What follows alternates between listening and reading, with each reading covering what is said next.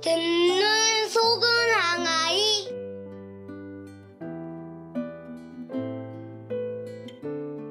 성부와 성자와 성령의 이름으로 아멘.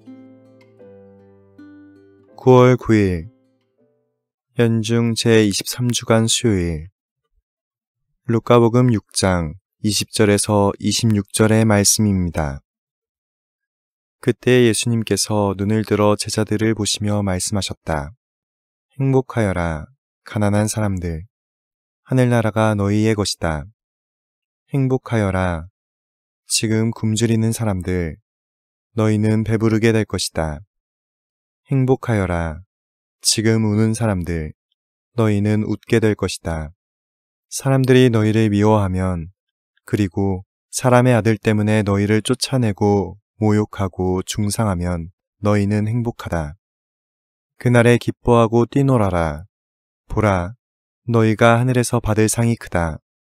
사실 그들의 조상들도 예언자들의 그렇게 대하였다. 그러나 불행하여라. 너희 부유한 사람들. 너희는 이미 위로를 받았다. 불행하여라. 너희 지금 배부른 사람들. 너희는 굶주리게 될 것이다. 불행하여라. 지금 웃는 사람들. 너희는 슬퍼하며 울게 될 것이다. 모든 사람이 너희를 좋게 말하면 너희는 불행하다. 사실 그들의 조상들도 거짓 예언자들을 그렇게 대하였다.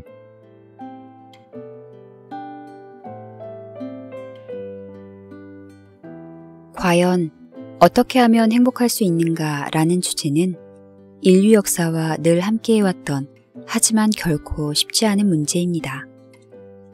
그런데 몇 년 전 하버드 대학에서 이 주제에 대한 무려 75년에 걸친 추적 연구의 중간 결과를 발표했습니다. 75년 동안 미국 남성 724명의 삶을 추적한 이 연구는 지금도 끝나지 않았다고 합니다. 최초의 연구 대상자 724명 중 현재 생존자들은 60여 명이고 그들 대부분이 90대가 되었습니다. 그리고 이 연구는 그들의 자녀들과 손주들을 통해 앞으로도 계속될 예정입니다. 이 놀라운 75년 동안의 추적 연구의 중간 보고를 통해 연구자들은 인간을 행복하고 건강하게 하는 것이 무엇인지 다음에 세 가지를 밝혔습니다. 첫째, 인간의 행복은 관계에 있다. 둘째, 그 관계는 관계의 양이 아니라 질에 있다. 셋째, 행복한 사람은 신체뿐 아니라 뇌까지도 그렇지 않은 이들보다 건강하다. 이는 우리 그리스도인들에게도 똑같이 적용할 수 있을 듯 합니다. 그리스도인의 행복은 예수님과의 관계에 있습니다.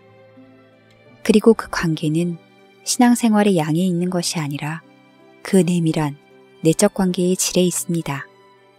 그리고 그러한 관계에 있는 신앙인은 그렇지 않은 이들보다 영적으로 건강합니다.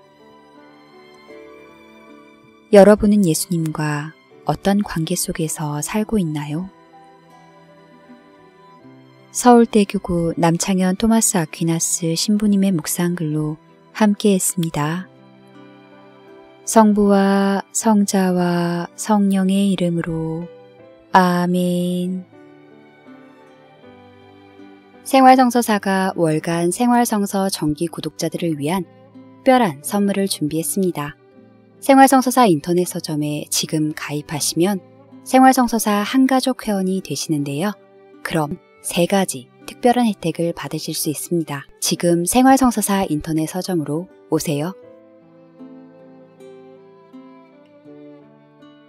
많이 많이 사랑해 주세요.